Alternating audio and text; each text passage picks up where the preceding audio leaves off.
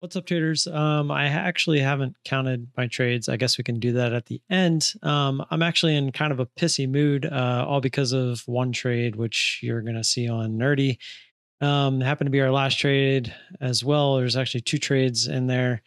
And uh, yeah, just a very frustrating one. Um, but we will get right into this and roll through these. Don't forget to like and subscribe. Always appreciate that support.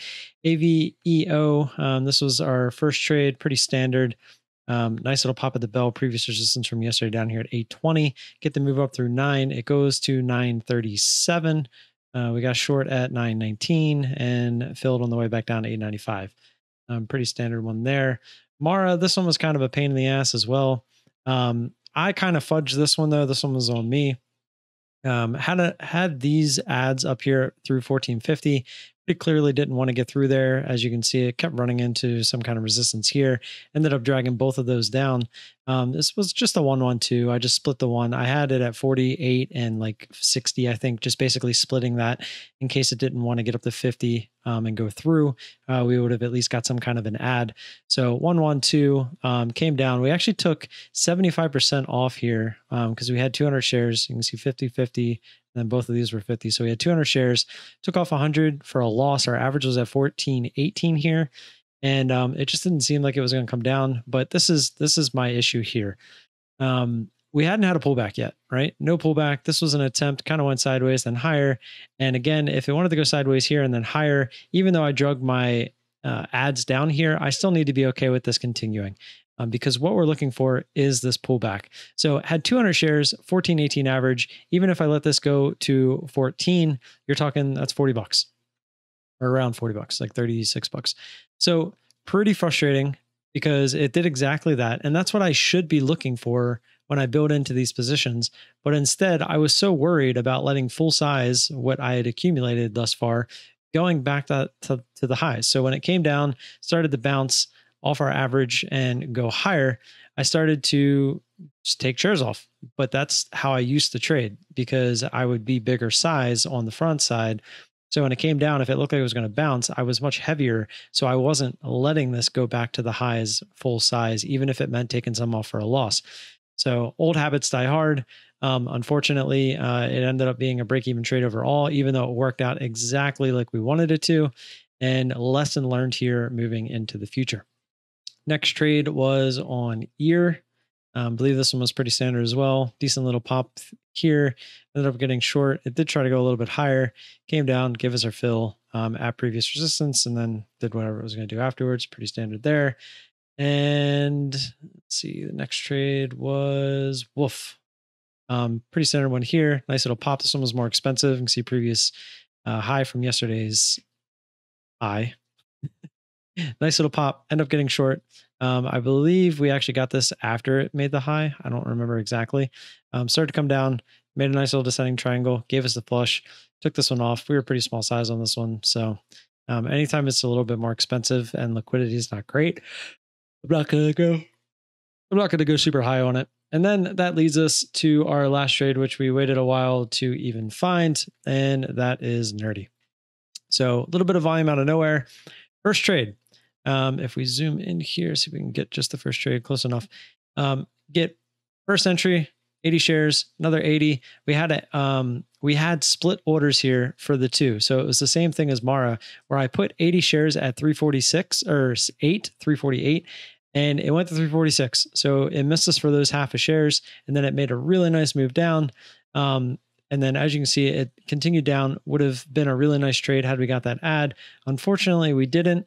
Uh, and I don't know if the reason I kept some of these shares, which I only took half here, um, I believe I kept these half because I was looking for the $3 test. I had the order at 305 or 302, 303. I don't remember exactly. And we just couldn't get it. Um, so if we get this add, which missed us by a couple pennies, I believe I'm never letting this come back up and go through our break even. Uh, however, it comes up, goes back through our break even. We actually end up adding 80 back, looking for this to be um, a lower high and looking for it to fail. As it comes back up, this essentially I have called the top. now, keep in mind, this was a fake wick. This 42 wick wasn't real. It actually only went to like 35 or 36. So that's what I was using as my stop here. And uh, so you can see we actually get to add, I don't remember exactly what it was, but we had a good amount of shares here. Um, we were at in 320 shares uh, after this add. Um, basically, just saying if it works, it works. We got the add at 30, and then we end up cutting it at 36, which was, I'm assuming, I just assumed that 35 was the top of this wick, not 42. Um, and we cut it. And as you can see, uh, it went higher. So good thing we did cut it, uh, which leads us to our second trade here. And so we started again, goes a little bit higher. We had an add at 388. This goes to 382. So we didn't get the add, gives us the nice pullback all the way back down to 360. But instead, our average is at 360 it bounces off our average literally look at this one two three so that's six minutes in a row this was bouncing off our average at 360 if we had got the add up there we would have been at like 374 with 200 shares comes down to 360 you can do the math it's a lot better but instead now it creeps back up to the highs and i say okay we're going to add looking for this to come back down um, after it already made a little bit of a pullback um, so it, i do this all the time where i'll add in a spot like this and it frustrates me because, yeah, sure, we get our average up. But at the same time, it's frustrating because that's where my add probably should have been to begin with to give us the the bigger average and share size for the initial pullback. Now it's crept up back to those areas. The odds are it's going to try to go higher if it crept back up to those areas.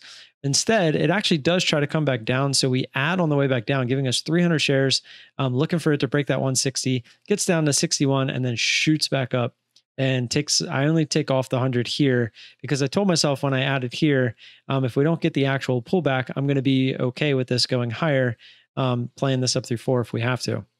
It fakes us out. We don't add anything back comes down. We end up taking 150 off of the 200 that we have left, looking for this to come all the way back down into this range um, with the other 50 shares, looking to see if it wants to fade the rest of the day. But instead, it starts to go back up towards the highs. And basically, there was a bunch of candles here, um, 74 through 76, that I said, if that didn't hold, we're just going to take it off. So we took it off at 78. I think the order was at 77. So we must have got a cent slippage. And as you can see, it never actually went back to high day. Um, 84, uh, 87 was the high. It still is.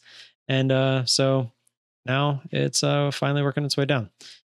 I mean, I couldn't win on this ticker. Uh, we missed an add by two cents, missed an add by six cents. It comes up, stops us out on our leftovers without going high of day, um, just to fade the rest of the day. It's just, it was a very, very tough trade, and it really emotionally messed with me. It was only a thirty dollar loss. It's not a big deal.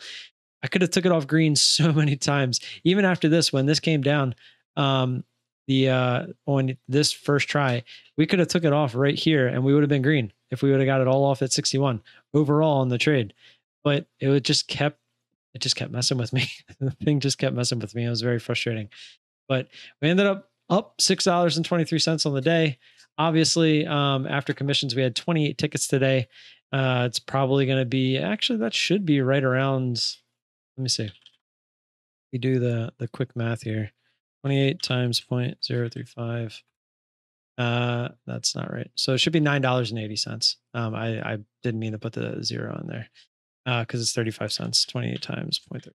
Yeah, so we'll be a little red on the day, but I guess considering it's not that bad.